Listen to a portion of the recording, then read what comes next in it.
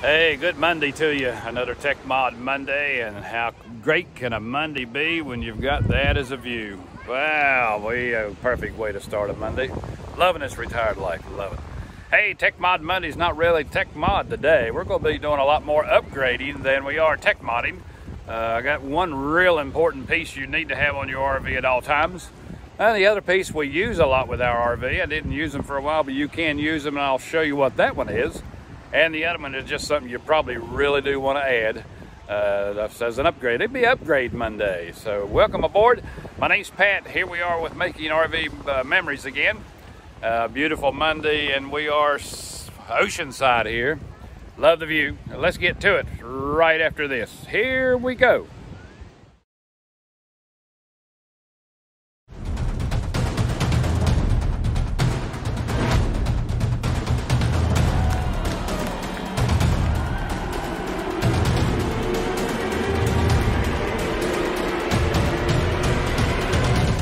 Thanks for coming back. Uh, today's Tech Talk, we're going to get into some upgrades that you can do to yours. All three of them I think is going to be really interesting for you. First, I want to deal with the X-Chocks that we use between our tires at our camp spots. Use these on uh, every travel trailer. These are the uh, the BAL X-Chocks. Uh, I'm sure there's probably a couple other brands out there that you can use. This particularly the one that I've used for a while. They're easy to put in. They do oppose force to both tires, so the camper's not going to roll anywhere. I've used them on uh, all of my travel trailers. Didn't need them at the motorhome, obviously. And I've uh, used them here with the fifth wheel, and I've actually learned, as heavy as this fifth wheel is, these X-Chocks will lock it right in place. They're easy to install. They're about 70 to 80 bucks a pair. Well worth it though, because they really do lock it into place. Helps to stabilize it a little bit, but it does lock it into place. So it's uh, a good, uh, not really call it modification, sort of an upgrade, you may say.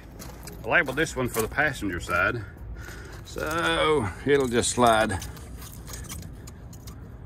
right in and just X-Chocks 101 for dummies. I did label off and on on the wrench. yeah, it does make it just a tad bit easier for me to, to grab it and run with it. So just slide them right in. You can hear it between me out of breath and just tighten them up. You can hear it sort of gripping the. Boom, she's on. I'll put one on the other side. That'll lock her in place. I will still use my wheel chocks, uh, but the X chocks, I believe them uh, a hundred percent.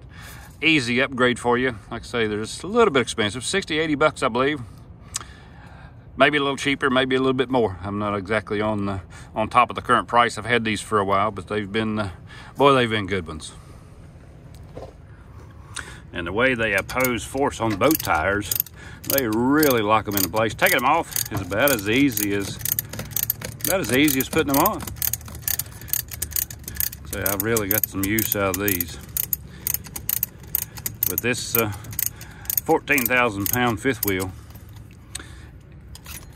these X-Chocks will actually hold it in place and this uh, this baby not going nowhere with these X-Chocks in.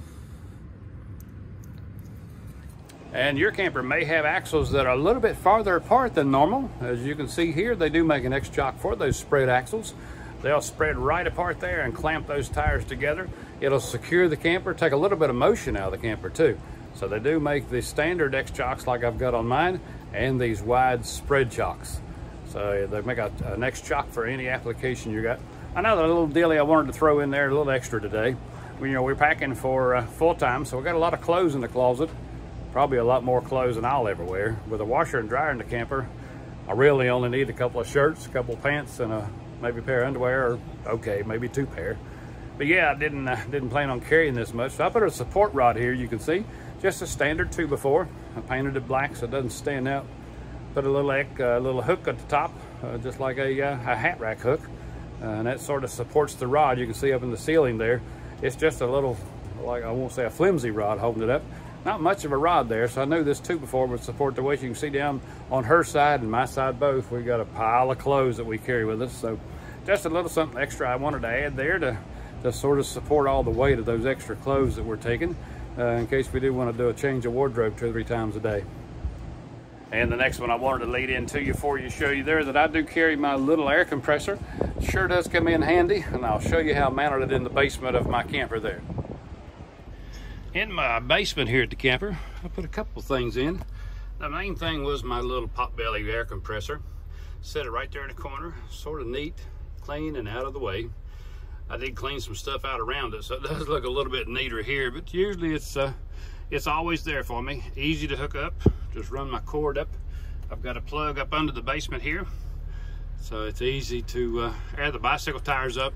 I got the airbags on the front of my fifth wheel that has uh, needs air occasionally, and then of course you got your tires on the fifth wheel and your vehicle. So always needing some air somewhere, or somebody else may need them for their bicycle. This little potbelly fits in here so neat. It's out of the way, so it's a, a really a great addition, whether you're just a weekender or a two-week vacationer, or like me, you're full-time on the road, this is your garage. Only other thing I did add here is pretty pretty handy for me. I'm always needing some nuts and bolts, uh, uh, any kind of little gadget. I just mounted that. I built me a little platform there so I could sort of raise it up off the ground and still get some more uh, storage up under it and just a couple of screws to the uh, to the wall there to hold it up. Just a little chest of drawers with uh, all kinds of little nuts and bolts and uh, just gadgets. Gadgets, you know us guys, always needing something to do something with. And of course, got my toolbox here so I can always tinker always tinker on something. But the main thing I wanted to show you, along with the uh, chest of drawers there, those are those are handy. But that little potbelly air compressor, I got mine at Lowe's. They had them, uh, actually had them on sale there, and they still do. Last time I was there, so uh, pretty. Uh, it's been great for for the little short time that I've used it. It does do a PSI of 200. My airbag needs at least 150 in the front, so I needed something that's going to carry enough PSI pressure that I can use it there. Easy to hook up with a quick disconnect there. I can run my hose whether I go out that door over there or the door here where I'm at. So I can get the, I've got a, um, I got a 25 foot hose and it'll go just about anywhere I need to go with it.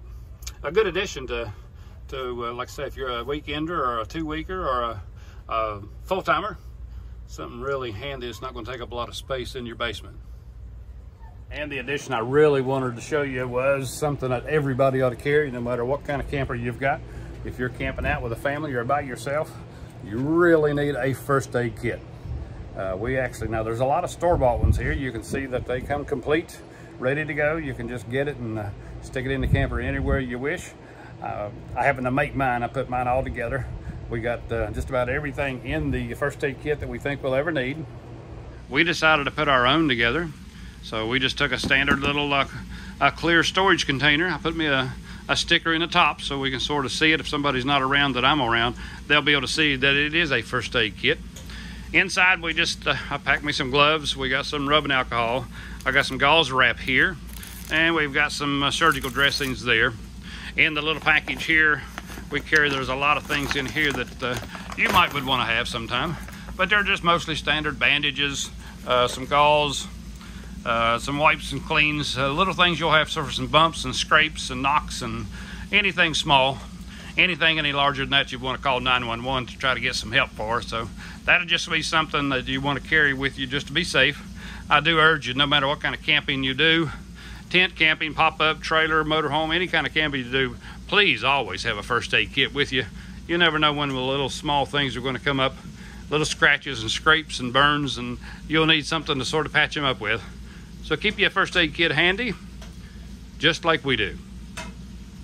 And I want to thank you for watching our uh, our little upgrade video here today. We are still on our beach tour down here. So we're doing some beach adventures here. You can catch our adventures on Fridays.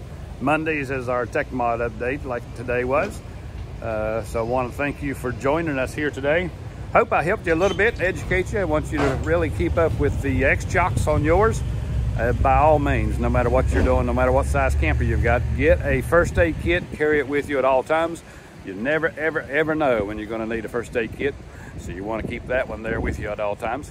And we do join, uh, want to join you to subscribe. Hit that subscribe button right there in the corner.